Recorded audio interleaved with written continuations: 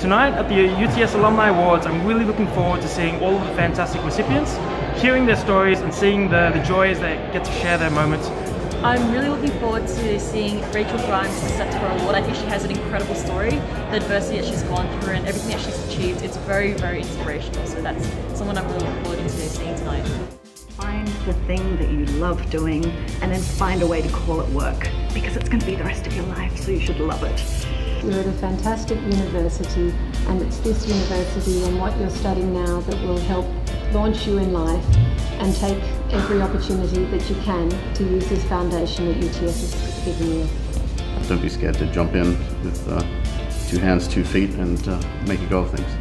If someone says no, you can't do that, or you're not good enough to do that, or you're not ready to do that, don't listen to that go out there and do and believe in yourself. Find an area of science that you love and if something you're passionate about then it will carry you through the times of frustration when the research doesn't go your way.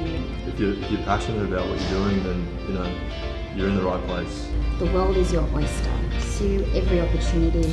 Never ever ever ever ever conduct an interview over email. Thank you mom, thank you dad. I stand here as uh, a UTS alumni member, not simply as an Aboriginal man, and as that is I'm an equal to every other UTS alumni member who's ever graduated from this university.